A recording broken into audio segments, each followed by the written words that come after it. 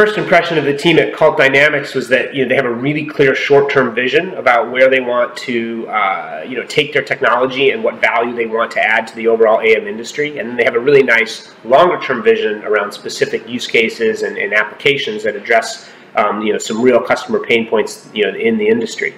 In the future, I, I think the industry is so dynamic uh, and at such an early stage overall that teams like CALT have a lot of potential uh, to make their mark by focusing on developing technology, you know, that prioritizes things like speed and ease of use. You know, and as we move out of, you know, what is kind of currently a, a phase of testing and, and qualification, um, you know, in the overall industry, those attributes are going to be more and more critical to driving adoption moving forward.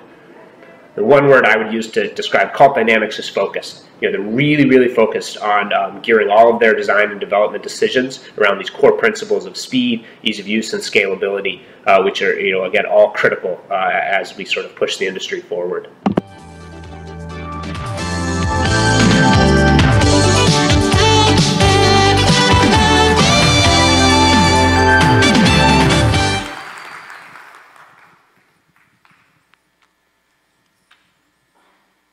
It is now 18 minutes after 8. It seems kind of like magic, but it's called stereolithography. You dream up an idea, plot it out on your computer, and then presto, out comes an exact model. As science editor Michael Guillen tells us, it's revolutionizing American industry.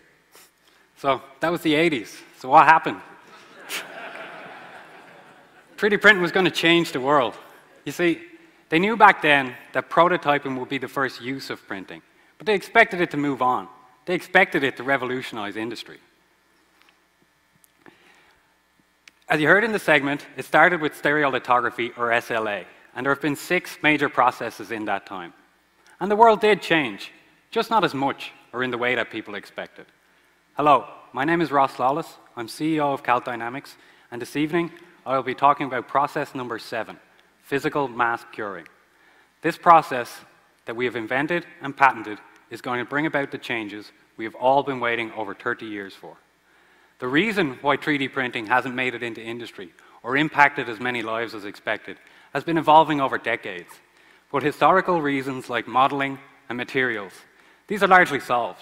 The real problem, the problem of today, is the investment cost and scalability of current 3D printing solutions. And this really matters because 3D printing can affect issues or can solve issues that affect millions of lives every year. Our 3D printers can solve issues like access to clean water by printing filters where and when they're needed. Issues like access to energy by reducing downtime in industry. And they can also be used to create a world with better and smarter products that can utilize this incredible manufacturing method. 3D printing has a usage of just 0.05% in industrial, manufa industrial manufacturing markets today, with low usage in products and end-use parts generally because there is no effective solution for large batches.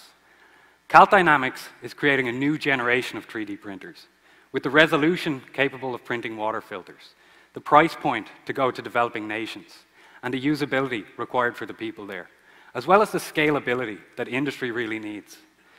CALT Dynamics can create PMC devices that are mobile and field ready, with no computer or internet required.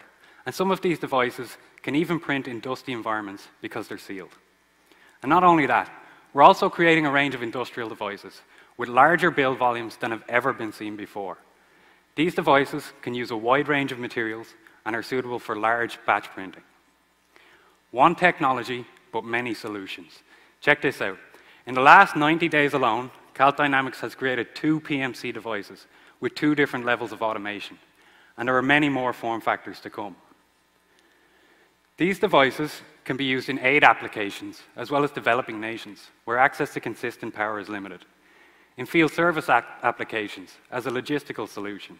So we're talking about printing parts in the field, just in time, where they're needed. They can also be used for high-resolution printing in scientific research, and of course, for large-scale industrial batch printing. This is how the process works. A build plate is lowered into a container of liquid resin. UV light from a solid-state light source shines through a physical mask. We can make these in a variety of materials and in a number of ways. The light hardens the plastic in the desired shape for any given layer, and then the build plate moves away and the process repeats until the part is built up. We will be retailing a range of PMC devices plus associated hardware and consumables, which due to their scalability can suit a wide range of markets, some of which are new frontiers. To date, field service has been largely unaffected by 3D printing, despite the, want and, despite the need and want being there. But with ultra-low power requirements and new levels of mobility, PMC devices can access markets such as oil and gas field service worth in excess of 70 billion per year.